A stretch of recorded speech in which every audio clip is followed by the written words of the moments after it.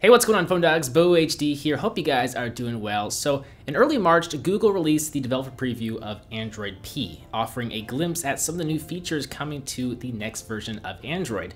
We decided to hold off on the coverage of the developer preview until Google released their public beta, just because the public beta is more stable and it has more features, and many of you guys will be able to download and install the next version of Android on your device. There is a list of smartphones that support the beta this time around. It's not just Pixel smartphones anymore. I'll place a link down below in the description to enroll your device and download the beta if that's what you want to do. But what we're going to be doing in this video is discussing some of those features that are found in Android P. We have tallied up uh, over 20 different features and or aesthetic changes made to Android P. So sit back, relax, and let's talk Android.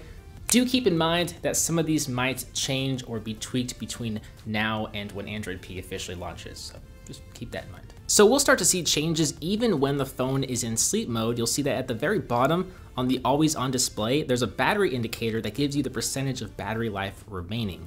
If you double tap on the screen or power it on the old fashioned way, we'll also see a more compact layout for the date and time. It's very subtle, but I think it's worth mentioning. The overall aesthetic theme in Android P consists of rounded corners and round icons. We'll see the app icons are round and the Google search widget features rounded corners. Swiping down the notification drawer will reveal all new round icons for your quick settings. Notifications have rounded corners too. You can long press a notification to get to the settings. There's also a manage notification button at the bottom that will list your most recent notifications to uh, turn them on or off as you see fit.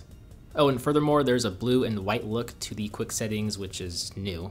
And you might have noticed there's no home button anymore. You can go to the gestures section in the settings to enable these new gesture controls or just reinstate the classic navigation buttons if you want.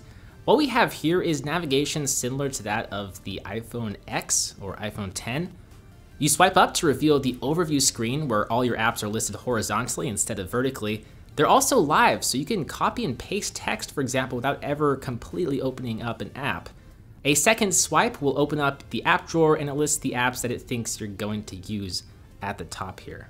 What's cool is that you can slide the little button where your home button would be to scroll through your background applications. It's a, a quick way to switch between apps. All you have to do is tap on this home button to go back to the home screen once you are in an application. And the back button is there as well. So don't feel like they removed the back button because they didn't. The volume controls have been completely redesigned. You now have this vertical slider when you press on the volume controls on the side. It's right next to the physical volume control buttons and it's super minimal. You can tap on the screen to close the menu or just let it fade away after a few seconds. You'll also see a button up top that will let you switch between ringer modes, vibrate, silent, or ringer on. We also have a settings icon below the slider that will open up your sound settings where you can change the media, alarm, and ring volumes as well as several other features. The settings drawer has been updated as it seems to be with every new version of Android. Right off the bat, you'll notice colorful new round icons. Up top is a huge search bar with rounded corners. Um, I use the search bar a lot, so I'm really glad it's still here, and it's bigger and better than ever. There have been improvements made to the rotation lock if you have the rotation lock on, meaning your phone won't reorient itself into landscape mode, and you rotate your phone anyway, a button will pop up next to your navigation buttons to let you rotate the screen for one time only. You can now edit screenshots as soon as they are captured. Once you take a screenshot, you can pull down the notification panel and tap on edit and start marking up your screenshot. Battery saver mode can now be toggled on automatically at any battery percentage between 5 and 70%. Uh, you can use this handy dandy little slider here to select when you'd like the feature to be turned on. There's a new zoom lens when highlighting text. If you're writing up a text message, you can highlight a word or two and tap and hold on the blue marker to see a zoomed in view of whatever it is that you typed on to more precisely select text.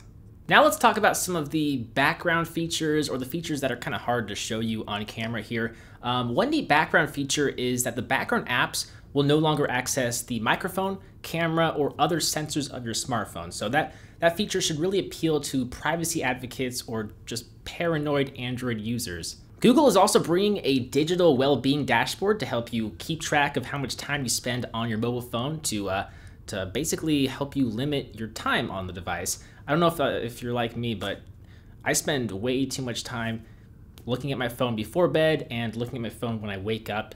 Sometimes it's it's well over an hour. I'll just sit and stare at my phone, mindlessly looking at content. You will even be able to turn your phone into a grayscale mode to dull content and make you put your phone down sooner. There's a new do not disturb mode that will not only block unwanted sounds, but it can block visuals as well. So when you turn this mode on, you'll see all of your notifications disappear from the notification panel and the lock screen as well. There are actions and slices, which are deep links into apps that are able to be surfaced in other parts of the operating system. Uh, for example, you can search for Lyft and see search results, as well as a button to call a Lyft directly to go home and developers can program these actions for their apps. So there are a ton of new features available in Android P. What we do not know yet is what Android P will be called, though rumors do suggest that it will be called Peppermint, which I like. I think that's a pretty good name.